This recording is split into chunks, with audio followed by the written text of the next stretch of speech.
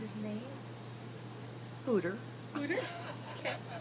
What else would you name an owl?